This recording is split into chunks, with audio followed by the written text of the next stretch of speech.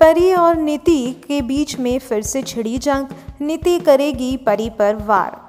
बात हो रही है कलर्स चैनल पर आ रहे सीरियल परी परिणीति की, जिसके आने वाले एपिसोड में आपको देखने को मिलेगा बड़ा ट्विस्ट।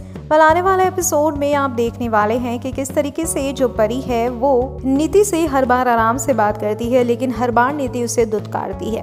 अब ऐसे में राजीव ने भी बड़ा फैसला लिया है कि वो परी की ओर आगे बढ़ेगा और घर वाले भी खुश हैं। क्योंकि नीति जो है उसकी चलाकियाँ तो सबके सामने आ ही चुकी है।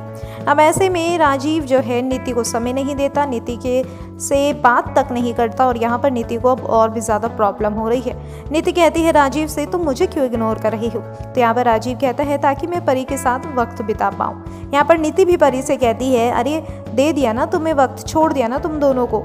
यहाँ पर परी कहती है, तुम मुझे वक्त देने वाली होती कौन हो? आने वाला एपिसोड काफ़ी ज़्यादा इंटरेस्टिंग होने वाला है, जहाँ पर हम देखेंगे कि जो नीति है, एक बार फिर से परी पर जानलेवा हमला कराएगी। एक बार उसने फिर से बुला लिए हैं घर में गुंडे, जो कि भेष बदल कर आए हैं।